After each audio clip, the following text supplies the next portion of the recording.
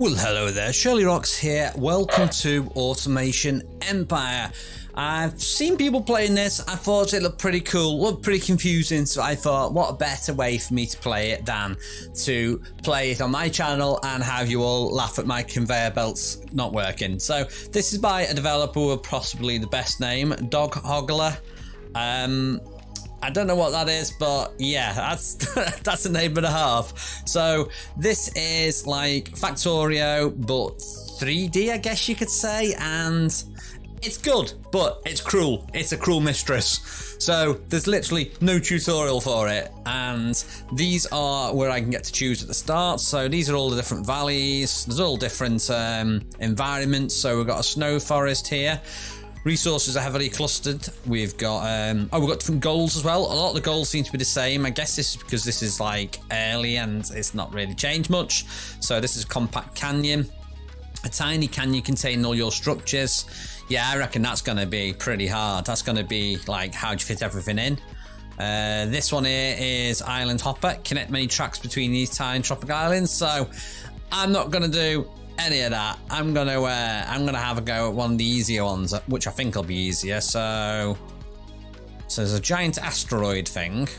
That sounds pretty interesting. Let's do this. And I'm gonna put in Shirlie Rox if I can remember how to type it. Why on earth did I choose that stupid name?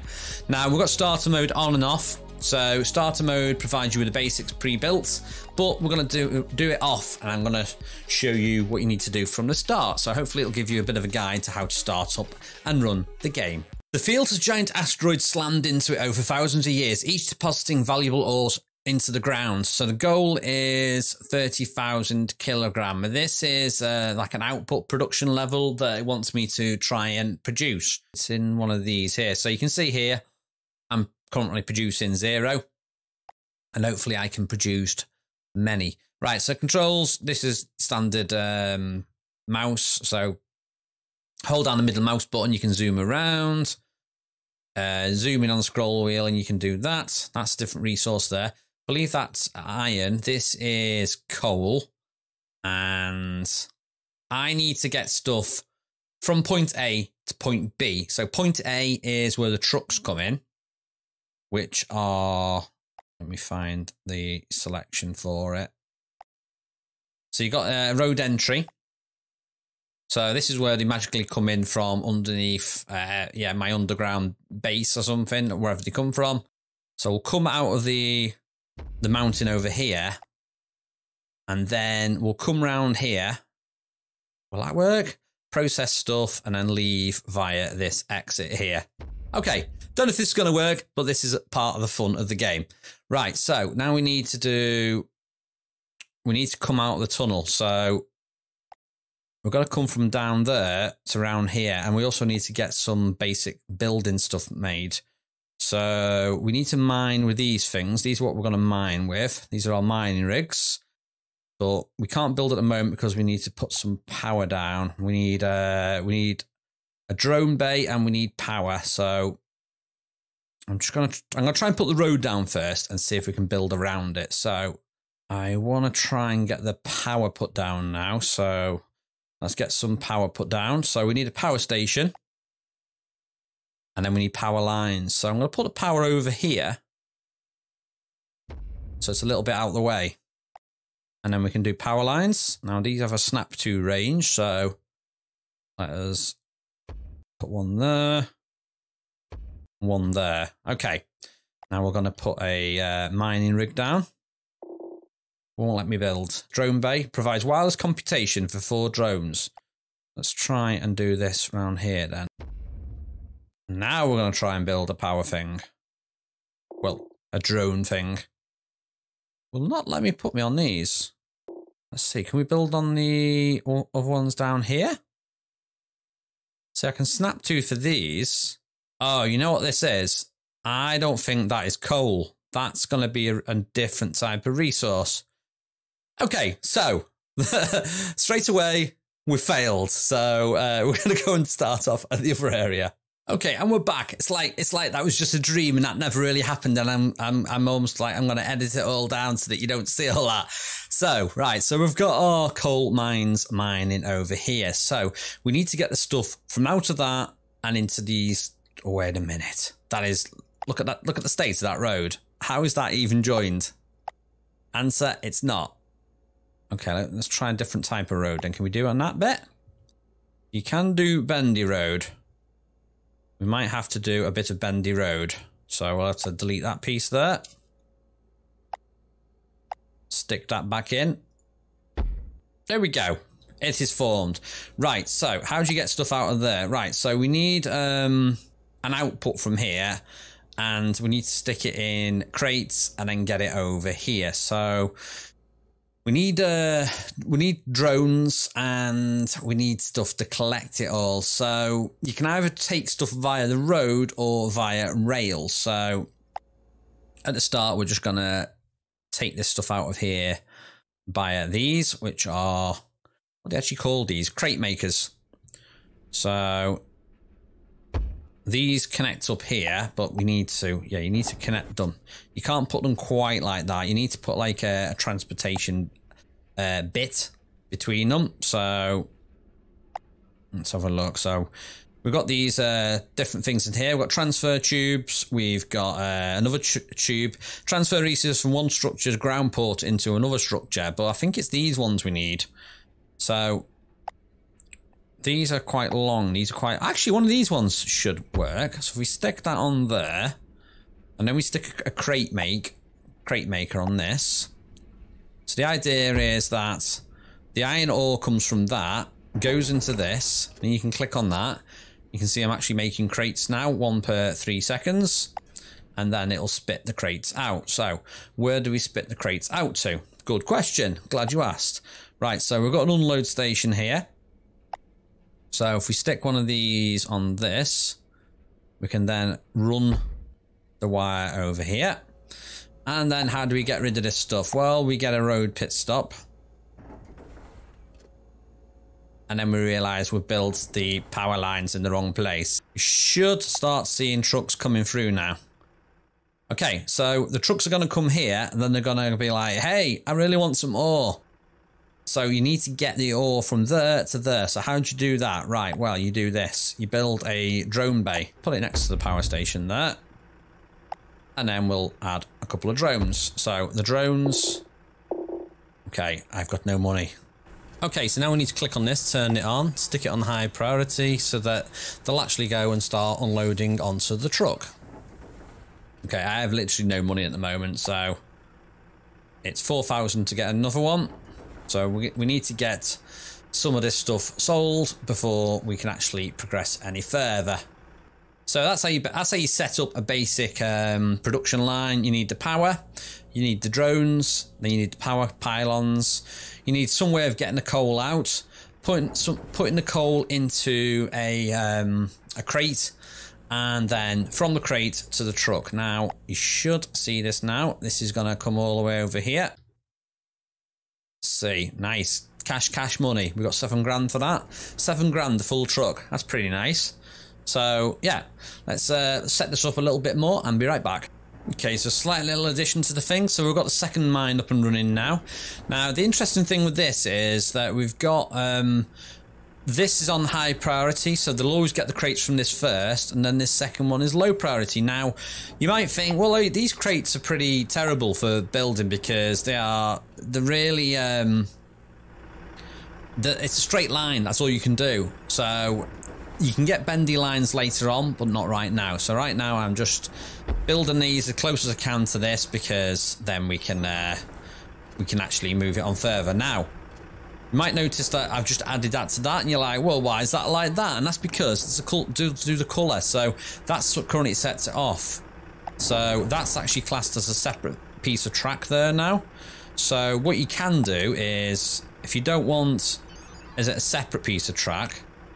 So I know that one bit there on the end is still classed as separate. If you click space on something, you clone it. So hopefully this should now make this part of the same thing and makes stuff building a lot easier.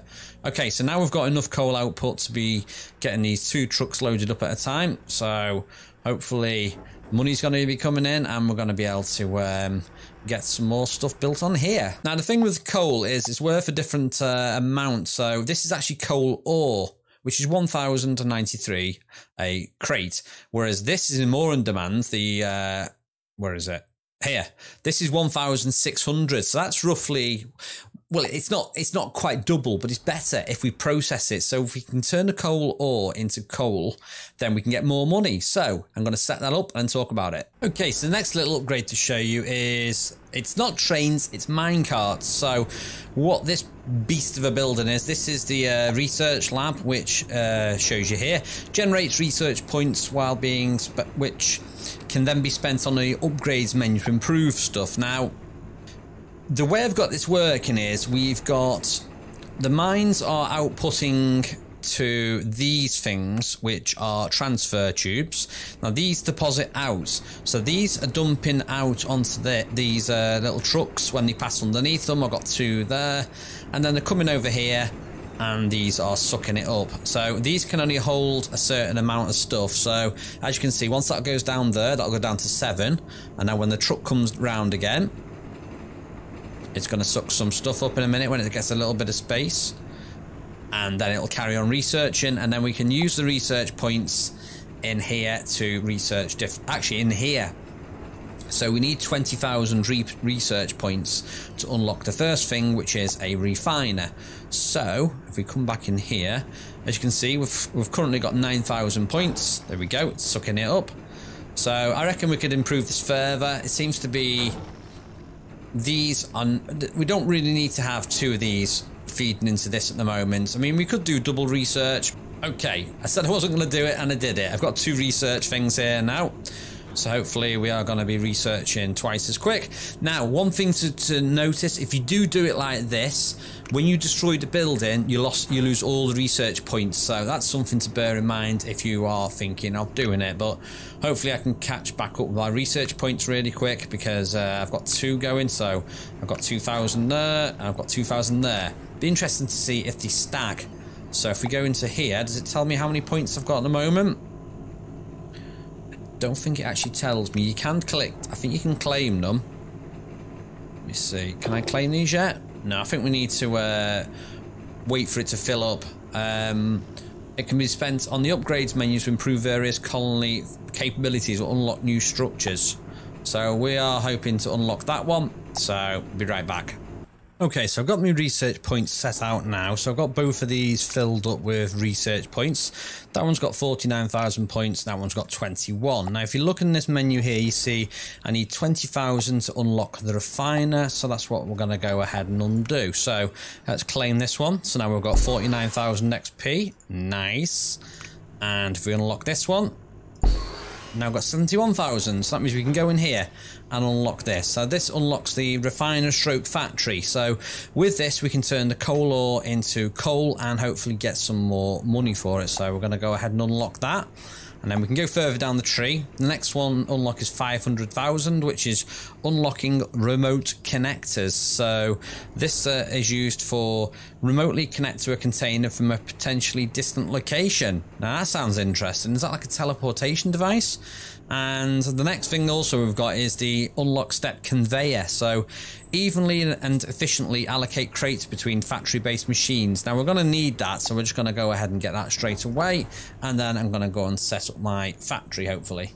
Okay, so I've upgraded the base a little bit now. So as you can see here, we've got the two research things fully ready to collect now. So let's go and collect these. Now, one thing that's worth talking about is loading with the carts. So, if you notice here, we've got the one um, mining rig which is filling these up. Now, this this will come around here and unloading these.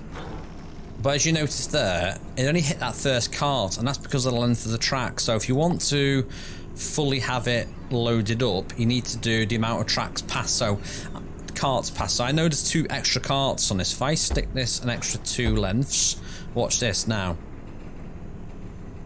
Might need one more. Now when this comes back around, hopefully, this now is going to be able to load the other carts. So there you go. So that's, that's worth bearing in mind if you're wondering why your carts are going around with only like one thing in them.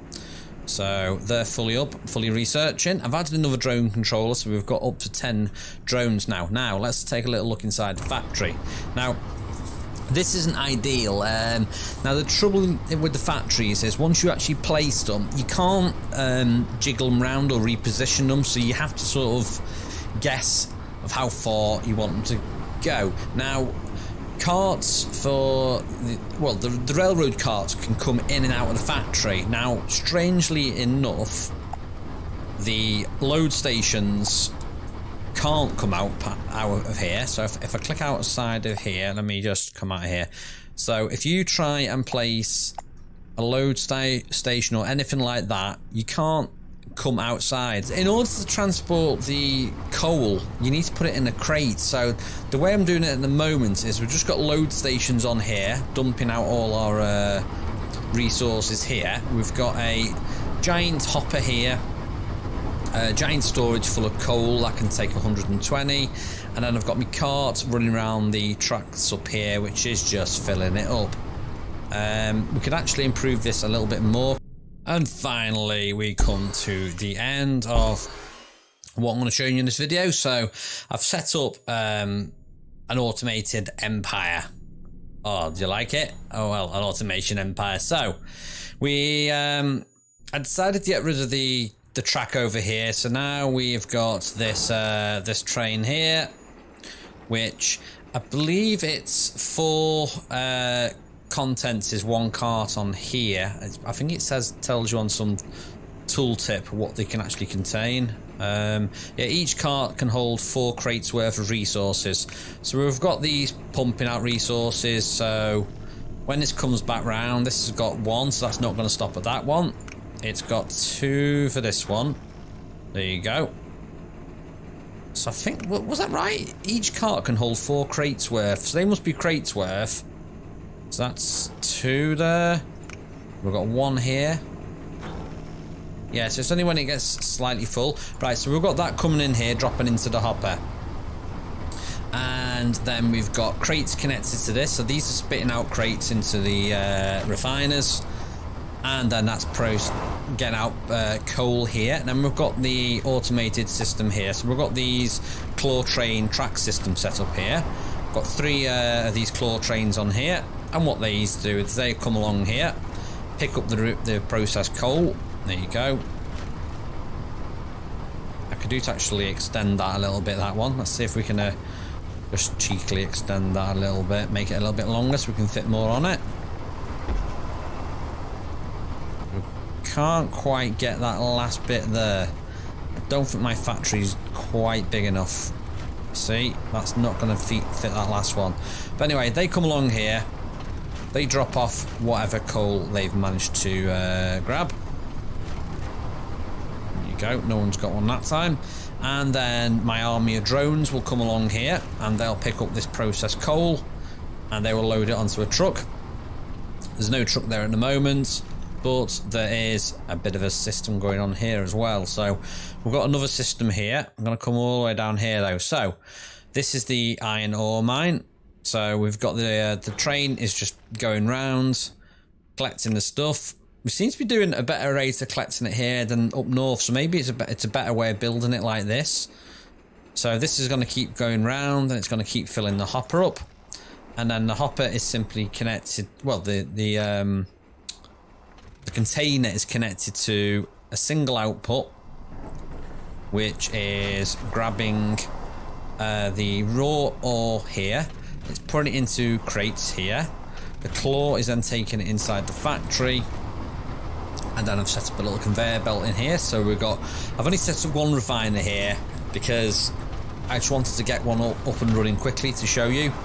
And to show you a few of the different things. So this one here is this little section here, transfer claw. This transfers from one stepper to another. So if you watch this, so there you go.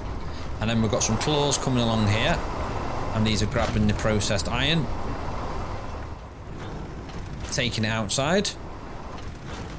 Dumping it on there. And then I've got my little uh, robots here who are grabbing the uh, the ore. And uh, yeah that's how we're making money. So we've got our research going on as well still. I've got 400,000 uh, research points. Nice. So we're going to see the uh, iron ore truck's going to go now. So we've only got the two trucks going at the moment. But we're just selling the more expensive stuff now. Now, I think a more efficient factory is probably one like this, where you've got multiple uh, refiners. Whereas I've only got the one refiner, and also this is this is not really working that well because we've not got the um, we've only got one claw picking up. Need to figure out a way of picking up multiple multiple stuff at the time as well. Oh yeah, and we've got the train as well. Uh, over here. This is just my research train that's connected to one mine. So yeah, that's how you set up the different things. Hopefully you found some of that useful. Uh, if you've got any tips of setting these little layouts yourself, let me know. Anyway, that's it for now. I'm Shirlie Rox. Thank you for watching. I'll see you next time.